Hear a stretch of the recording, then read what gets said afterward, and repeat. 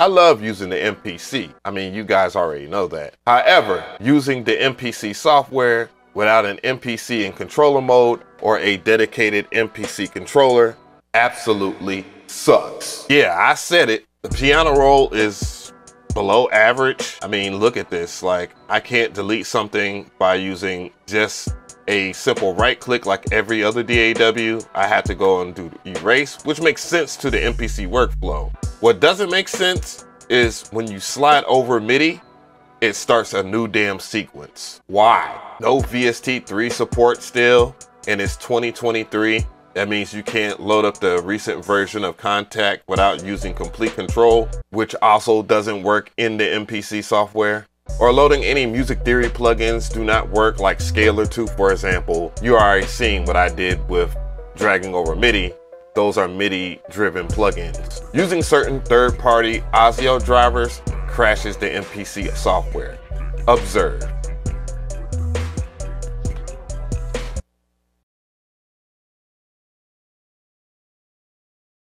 I had to restart my computer just to get access to my audio to finish this video. All of these things I have complained about for years, just not publicly. And I've addressed them in the official Akai forum for beta testers. And this is what they did to me. They suspended my account for inactivity when that is complete and utter bullshit. So what's the solution? ImageLine has updated FL Studio to 21.1 and you can use FL Studio like an external synth. By the way, this is not exclusive to just the current generation MPCs. This will work with any sampler or hardware synth. As long as it has a built-in sequencer and a MIDI in and MIDI out jack, you're good to go. All you need is one of the following three things. The first option is an audio interface that has a built-in MIDI in and MIDI out jack, like this one right here, which is the Universal Audio Volt 276.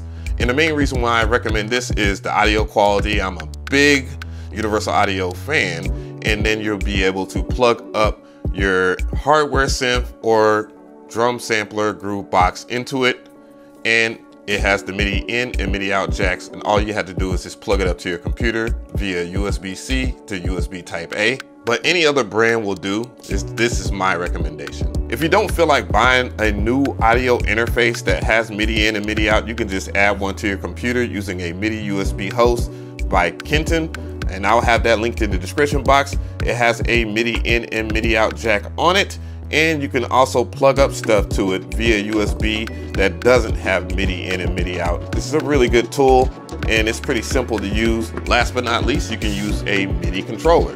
And this MIDI controller is the MPK Mini Plus, which has MIDI in and MIDI out and a USB to type B to type A, and plus some bells and whistles. It doesn't necessarily have to be this MIDI keyboard. The Arturia KeyStep is a healthy alternative that has MIDI in and MIDI out, and then some, just like the MPK Mini Plus. But if you have a MIDI keyboard that has a MIDI in and MIDI out jack, then you're good to go no matter what. The option I'm using in this video will be an audio interface. But if you have any questions on how to set it up with your studio equipment, well, leave a comment below. Please attach a super thanks of $10 or better and I will reply and help you out the best way that I can. I will greatly appreciate it. The audio interface that I use in my office is the Arturia Audio Fuse Studio, which has MIDI in and MIDI out ports and a special feature called Reamp, which is an auxiliary out, which will allow me to sample back into my MPC,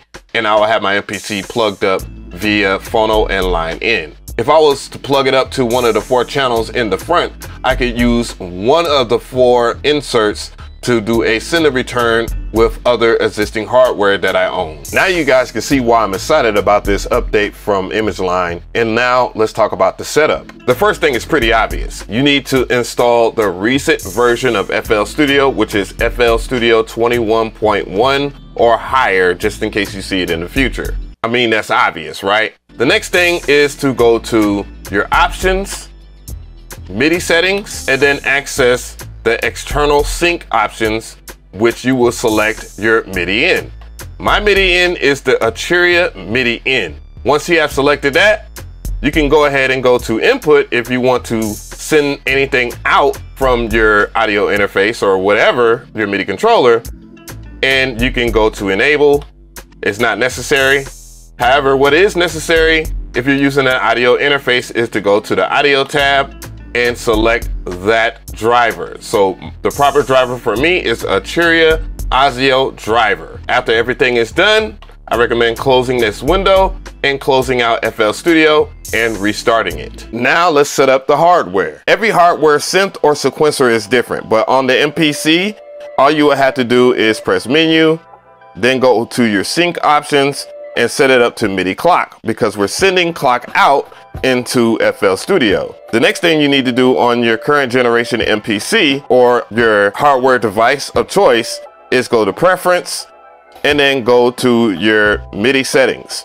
On the MPC, I would recommend that you set it up to enable MIDI ports when discovered. Make sure that you set it up to the proper control mode output, which I will use MPC A that port right here with this red MIDI cable. Then I will make sure that I can send clock and then I will hit this right here which is a check sign that says send MMC. After that, you should be good to go. Everything is done. If you pay attention to the BPM on my MPC, it is at 72 BPM. The BPM in FL Studio is at 130. I already made a drum loop on the MPC. So when I press play start, the BPM should change inside of FL Studio because it is sending a PPQ, which is pulse per quarter note, to FL Studio.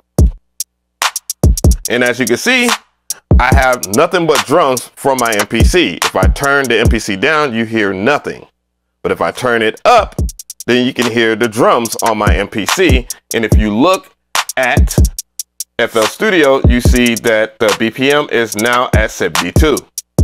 Now here comes the interesting part. I just pulled up one of my favorite VST synths of all time, which is Electra 2. And what I will do is I will use some MIDI files and just drag it and drop it inside of FL Studio. However, since FL Studio is synced up to my MPC, I can just simply press play start and then I can turn up the drums And bruh, we are good to go. Remember when I said that the MPC software cannot use VST3 plugins? Well, FL Studio can. The recent version of the Kontakt Player does not work with the MPC software because it is in VST3 format. However, it works in FL Studio and you can sync your MPC to it. My point case in blank. Let's take it a step further than that. Let's just say you wanted to continue this process in FL Studio. Well, maybe you are one of these type guys, which is okay, I'm just joking. If you're anything like me, you like how the drums hit on the MPC. It's like none other. So what I'll do is go over here and then I will make sure that the mixer is right in front of you. And then I will go to access the audio in, the right audio input, which would be funnel five and six for me. It will be different for you. Make sure that it is on for record. It will have this red sign right here. Then I will go over here into the playlist, make sure that I have the pattern one right there. And then I will go into song mode and make sure that you have waiting on. I know it's a, it's a lot, at least the way I'm explaining it. Press the record button inside of FL Studio, then press overdub and play start on the MPC so that you get double the count. And let's see the magic. And your drums are recorded in. And that animation is actually pretty cool. Ah, FL. And make sure after the recording process is done, that you set everything back so you can hear the audio. So just select none. If you want to play with the audio some more, you can always double click on it and then you can do normalize or whatever you want to do to it. And it's a little louder than I want it to be, but yeah, then you can add your pre-computed effects or whatever. But the coolest shit is this. So I have this progression right here, but I want to take this progression and sample it into the MPC. And all I simply have to do is this. Remember that reamp feature I was talking about on the Arturia Audio Fuse Studio? Well, I'm about to use it right now. On the current generation MPCs, there is a looper. So all I would have to do is just go into my menu and then select looper. And then I will set up my looper for a four bar loop. It's already set up that way. And the next thing I will do is select my inputs one and two. And you can see that it is hooked up to my inputs one and two on my MPC Live 2, which varies on individual MPCs, depending on which one you have. So from here, I could do a whole bunch of stuff. But the main thing I want to do is sample what I have inside of FL Studio. I don't have to monitor in. You don't have to either. I'll have it off so that they won't have any loop feedback of any sort. So what I'll end up doing is just simply pressing record on here, play start.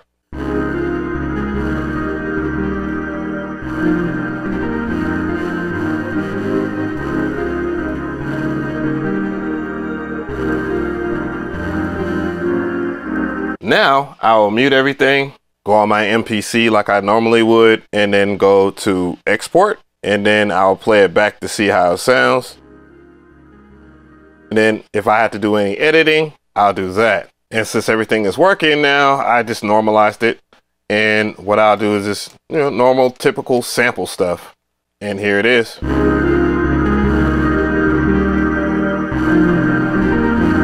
And if I want to do some chopping, I'll just go into chop and chop it up.